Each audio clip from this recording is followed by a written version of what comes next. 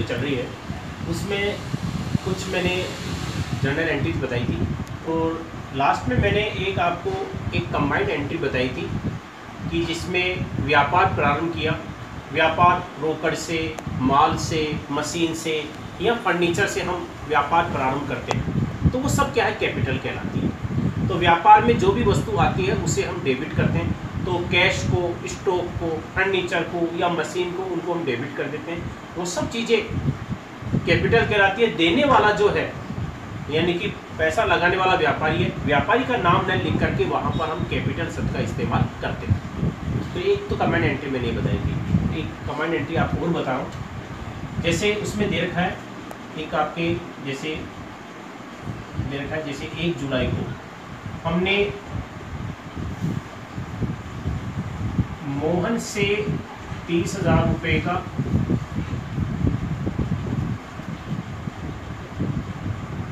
और रवि से तीस हज़ार रुपये का माल खरीदा।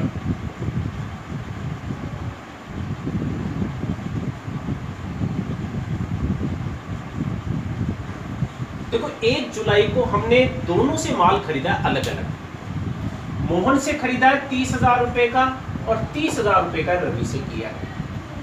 तो एक तो थी कि हम इसकी अलग अलग एंट्री करें, क्योंकि हमने मोहन से खरीदा है तो पेमेंट हमारे को मोहन को करना है, रवि से माल खरीदा है तो रवि को पेमेंट करना है। तो हम या तो इन दोनों की अलग अलग एंट्री करें, लेकिन डेट एक ही डलेगी, या फिर हम दोनों की एक कंबाइंड एंट्री भी कर सकते हैं। क्योंकि दोनों से हमने एक ही दिन माल खरीदा है तो दोनों की कंबाइंड एंट्री यानी कि मिश्रित प्रविष्टि इसको बोलते हैं, वो कैसे करेंगे? देखो, इसमें सबसे पहले तो माल किसने खरीदा है? हमने माल खरीदा है, ठीक है? दूसरे, इसमें क्या है, जो माल खरीदा है, हमने नकद खरीदा या उधार खरीदा है तो इसकी पहचान मैंने बताई थी कि जिसमें किसी व्यक्ति का नाम या संस्था का नाम आता है, वो लेन देन उधार होता है। तो इसमें देखो, मोहन और रवि, ये दोनों नाम दे रखे हैं, इसका मतलब हमने उधार माल खरीदा है, ठीक है? और खरीदने पर हमारे पास जो माल आ रहा है, माल किसमें आता है आपके? वस्तुगत खाते में। ये व्यक्ति है, ये किसमें आते हैं? व्यक्तिगत खाते में। मोहन और रवि दोनों व्यक्तिगत खाते में आते हैं और माल खरीदा, ये किसमें आता है? वस्तुगत खाते में। ठीक है? तो इसमें व्यक्तिगत खाता और वस्तुगत खाता दो प्रभावित हो रहे हैं। तो दोनों के नियम लागू हो जाएँगे। तो सबसे पहले जैसे व्यक्तिगत खाते का नियम। व्यक्तिगत खाते का नियम है पाने वाले को डेबिट करो। देखो, माल किसने खरीदा है? हमने खरीदा है। तो पाने वाले तो हमें। लेकिन मैंने बताया था कि व्यापारी अपना खुद का नाम कभी नहीं लिखता है, इसलिए हमारा नाम नहीं लिखा जाएगा। देने वाले को क्रेडिट करो। देने वाले कौन है? मोहन और रवि। दोनों से खरीदा है। कमांड एंट्री बता रहा हूँ। तो देने वाले को क्रेडिट करो। तो दोनों को हम क्रेडिट कर देंगे। To Mohan account. और टू रवि अकाउंट ठीक है? तीस हज़ार रुपए का क्रेडिट है तो तीस हज़ार रुपये मोहन के खाते में और तीस हज़ार रुपये रवि के खाते में। हमने क्रेडिट कर दिए व्यक्तिगत खाता कंप्लीट हो गया। अब देखो, माल जो खरीदा है, चाहे किसी से भी खरीदा हो, वस्तुगत खाते में आता है। और वस्तुगत खाते का नियम क्या है? जो वस्तु आती है, उसे डेबिट करो। उसे क्रेडिट करो। तो देखो, इसमें क्या आ रहा है? हमारे पास माल आ रहा है। इसमें व्यक्तिगत खाते के अनुसार दोनों को हमने क्रेडिट कर दिया।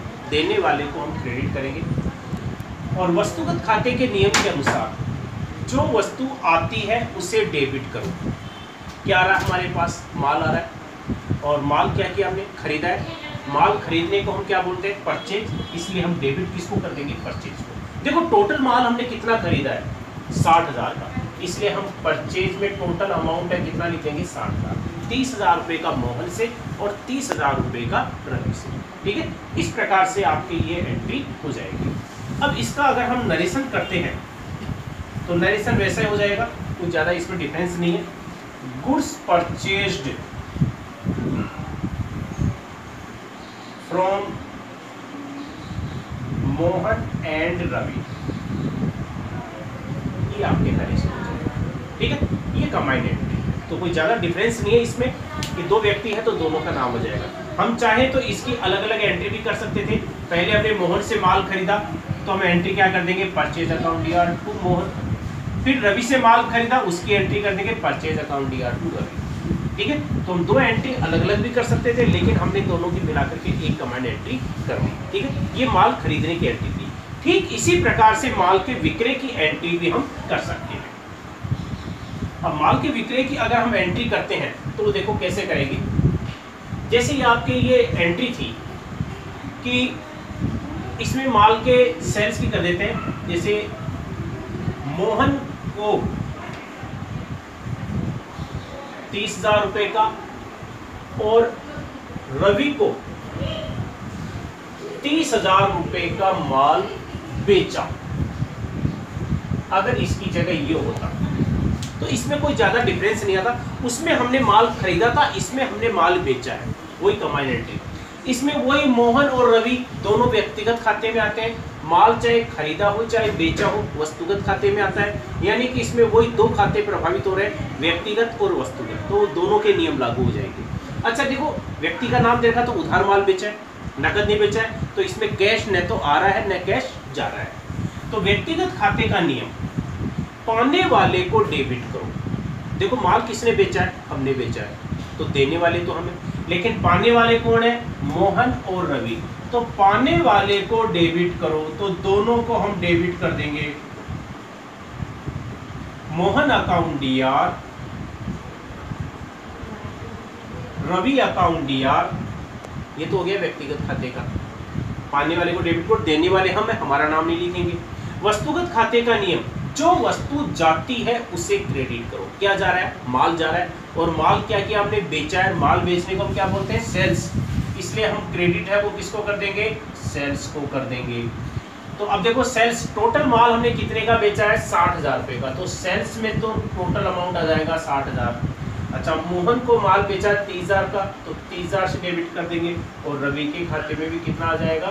तीस हज़ार। ये एंट्री हो जाएगी। और नरेशन इसका सेम वैसा ही। Goods sold to Mohan and Ravi. ये नरेशन हो जाएगा, ठीक है? ये हो गई आपकी इसकी कमांड ठीक है? अब मैं आपको एक एंट्री और बता रहा हूँ। देखो, एक कमांड एंट्री में आपको और बता रहा हूँ। आठ हज़ार रुपये मजदूरी तथा दो हज़ार रुपये ब्याज चुका है देखो पाँच जुलाई दे रखी तो दोनों एक साथ, दोनों की हम चाहे तो अलग अलग एंट्री भी कर सकते हैं, लेकिन कमांड एंट्री कैसे करेंगे? मजदूरी यानी कि वेजेज और ब्याज यानी कि इंटरेस्ट ठीक है? तो देखो, इसमें कौन कौन से खाते रहे हैं? चुकाने पर यह तो निश्चित है कि रोकड़ जा रही है, और मजदूरी ब्याज चुकाया किसमें आता है? अवास्तविक खाते में। तो मजदूरी जो ब्याज है, ये तो आपके किसमें आता है? अवास्तविक खाते में।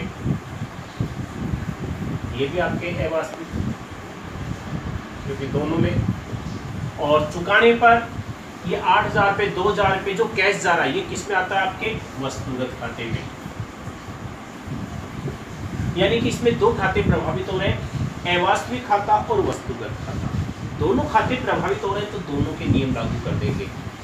अवास्तविक खाते का नियम, समस्त हानियों एवं खर्चों को डेबिट करो। देखो, चुका रहे तो खर्चा है हमारे लिए, दोनों। मजदूरी और ब्याज दोनों हमारे लिए खर्चे हैं। तो समस्त हानि खर्चों को डेबिट करो तो दोनों को हम डेबिट कर देंगे। वेजेज अकाउंट दिया और ब्याज, यानी कि इंटरेस्ट अकाउंट दिया। तो वेजेज है, वो कितनी है? आठ हज़ार रुपये और ब्याज कितना है? दो हज़ार रुपये ये तो हो गए अवास्तविक खाते का नियम, क्योंकि या तो खर्चा होता है या आय होती है। वस्तुगत खाते का नियम, कैश जा रहा है? जो वस्तु आती है, उसे डेबिट करो। आ तो कुछ नहीं रहा क्योंकि चुकाने पर हमारे पास से क्या जा रहा है? कैश तो कैश जा रहा है तो जो वस्तु जाती है, उसे क्रेडिट करो। तो इसमें हम क्रेडिट किसको कर देंगे? कैश तो टोटल कैश हमारे पास कितना जा रहा है? दस हज़ार तो नरेशन है, इसका क्या आ जाएगा? वेजेज एंड इंटरेस्ट पेड मजदूरी और ब्याज चुकाया। और डेट आपकी जो है वो आई जाएगी पाँच जुलाई जो भी डेट है वो आ जाएगी। ये इसकी कमांड एंट्री हो जाएगी। ठीक है? एक कमांड एंट्री आपको और बता रहा हूँ। उसके बाद में मैं आपको कुछ देता हूँ एंट्रीज करने के ये एंट्री है, कमल को पंद्रह हज़ार रुपये का नकद और बीस हज़ार रुपये का उधार माल बेचा एक ही व्यक्ति को बेचा है तो कमांड एंट्री करेंगे। इसमें माल नकद भी बेचा है और उधार भी बेचा है। तो इसमें क्या है? जो खाते प्रभावित हो रहे हैं देखो, व्यक्तिगत खाता भी प्रभावित हो रहा है इसमें, क्योंकि कमल का नाम दे रखा है। और जो कैश है पंद्रह हज़ार रुपये का, इसमें ये आपके किसमें आता है? वस्तुगत खाते में। और माल जो बेचा है, चाहे नकद बेचा हो, चाहे उधार बेचा हो, ये भी किसमें आता है? आपके वस्तुगत खाते में। यानी कि इसमें क्या दो खाते ही प्रभावित हो रहे हैं, व्यक्तिगत और वस्तुगत। तो दोनों के नियम लागू कर देंगे व्यक्तिगत खाते का नियम पाने वाले को डेबिट देखो, माल किसने बेचा है? हमने बेचा है। माल किसको बेचा है? कमल को। चाहे नकद बेचा हो या उधार। नकद और उधार दोनों हमने कमल को ही बेचा है। तो पाने वाले को डेबिट करो। हम डेबिट किसको कर देंगे? कमल को डेबिट कर देंगे। ठीक है? अब कमल को टोटल माल कितना बेचा है? टोटल माल हमने कितने का बेचा है? पंद्रह हज़ार रुपए का नकद और बीस हज़ार रुपए का उधार। टोटल कितना हो गया? पैंतीस हज़ार। देने वाले तो हम है। तो हमारा नाम नहीं आएगा। ये तो गया व्यक्तिगत खाता अब वस्तुगत खाते का नियम। जो वस्तु आती है, उसे डेबिट करो। देखो, नकद माल बेचा, उसमें कैश आ रहा है। तो जो वस्तु आती है, उसे डेबिट करो। और जो वस्तु जाती है, उसे क्रेडिट करो। देखो, इसमें माल हमने जो बेचा है देखो इस एंट्री को एक बार फिर से आप देखो, इसमें हमने नकद और उधार माल दोनों बेचा है। तो पाने वाला इसमें कमल है। तो व्यक्तिगत खाते के नियम के अनुसार पाने वाले को डेबिट करो। तो कमल को तो हम डेबिट करेंगे ठीक है? वस्तुगत खाते का नियम, जो वस्तु आती है उसे डेबिट करो। जो नकद माल बेचा है, उतने से हमारे पास कैश आ रहा है। कितने का माल बेचा है? पंद्रह हज़ार रुपये का। तो कैश हमारे पास कितना आ रहा है? पंद्रह हज़ार रुपये तो हम कैश को हम क्या कर देंगे? इसमें डेबिट कर देंगे। जितने से कैश आ रहा है तो कैश हमारे पास है, वो कितने से आ रहा है? पंद्रह हज़ार रुपये से। और उधार माल बेचा है उसमें कमल के खाते में राशि है, वो कितनी आ जाएगी? बीस हज़ार क्योंकि उधार माल बेचते हैं तो व्यक्ति का नाम लिखा जाता है। नकद माल बेचते हैं तो व्यक्ति का नाम नहीं आता है।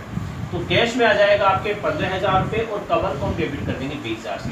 लेकिन माल चाहे नकद बेचा जाए उधार बेचा हो, माल हमारे पास टोटल कितने का जा रहा है? पैंतीस हज़ार रुपये का। तो जो वस्तु जाती है, उसे क्रेडिट करो। माल क्या है? हमने बेचा है, और माल बेचने को हम क्या बोलते हैं? सेल्स तो सेल्स में आपके टोटल राशि आ जाएगी आपके पैंतीस ठीक है? इस प्रकार से आ जाएगी।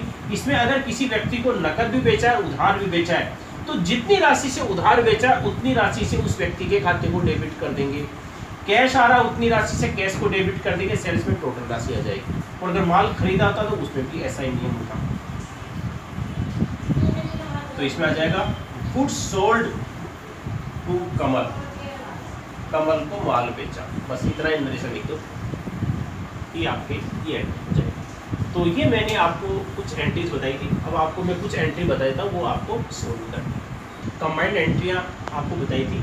और अब उसी के आधार पर आपको कुछ एंट्रीज है वो करने के लिए दे रहा हूँ। ये चार एंट्रीज मैं बता रहा हूँ। ये चार एंट्रीज आपको सोल्व करनी पहला दिसंबर एक, राकेश ने पचास हज़ार रुपये का नकद, बीस हज़ार रुपये का माल और दस हज़ार रुपये के फर्नीचर लगाकर व्यापार प्रारंभ किया। ठीक है? एक एंट्री तो इसकी करनी है। दूसरा है, प्रवीण से पंद्रह हज़ार रुपये का और प्रमोद से बीस हज़ार रुपये का माल खरीदा। ठीक? ऐसी एंट्री मैंने बता दी कि नाम चेंज है। तीसरा है, दिनेश को पंद्रह हज़ार रुपये का उधार और दस हज़ार रुपये का नकद माल बेचा। ठीक है? इसकी भी कमांड एंट्री है।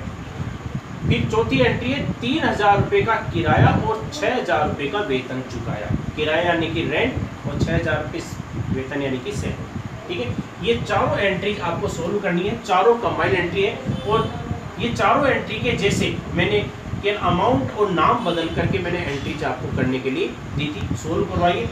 उसी के बेस पर आपको चारों एंट्रीज सोल्व करनी है।